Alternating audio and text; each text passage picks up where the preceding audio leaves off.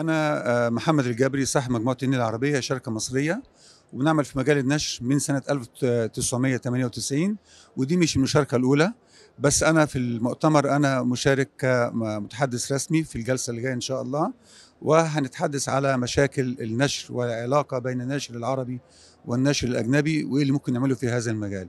مشاركتي في المعرض من زمان جدا يعني من ساعة ما أسست الشركة يعني. والله اللي أي واحد بيشتغل في العالم العربي لازم يقر ويعترف إنه الشارقه ومعرض الشارقة هو من أهم إن لم يكن هو الأهم آه، في العالم العربي. بالبرامج بتاعته بحزم الدعم اللي بتقدمها حكومة الشارقة للكتاب ولصناعة الكتاب حتى تنظيميا معرض الشارقة هو معرض بنشوف فيه إنه نموذج مش عايز أقول مصغر لكن موازي لمعرض فرانكفورت.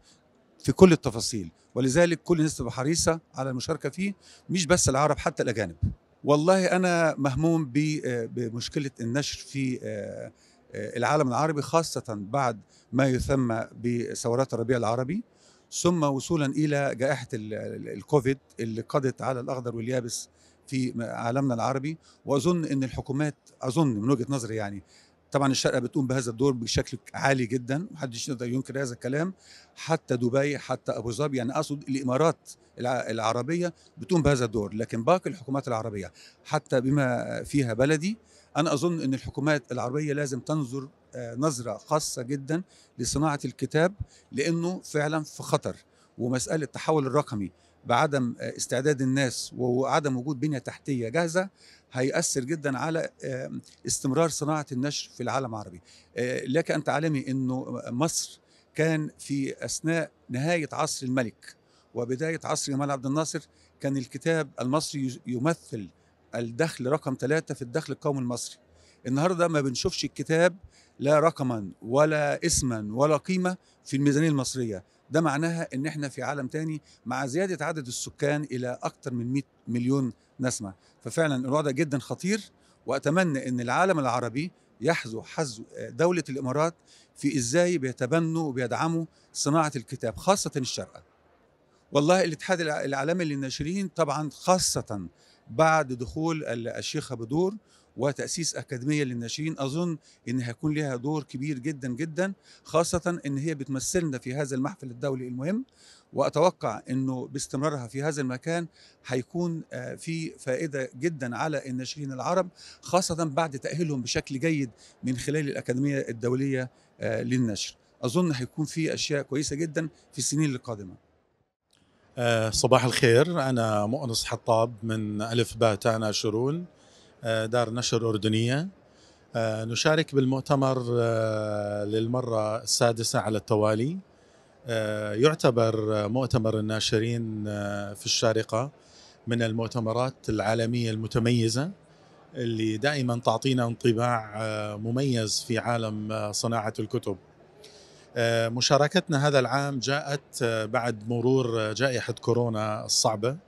وجاءت بعد تعطش جيد لصناعة الكتاب.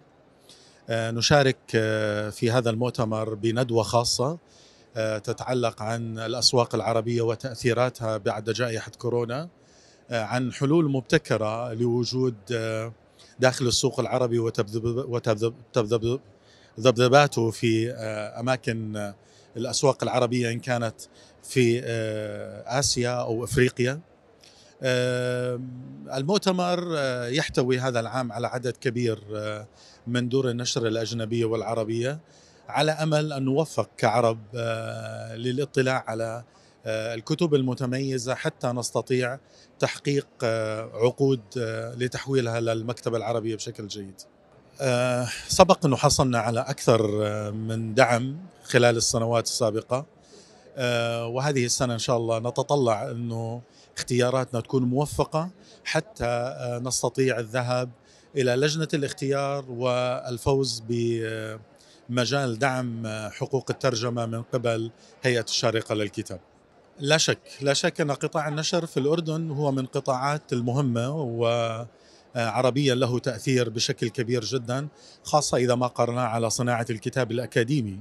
فيعتبر صناعة الكتاب الأكاديمي في الأردن من الدول الرائدة في المنطقة آه، وحتى على مستوى قطاع آه، صناعة كتب الأطفال.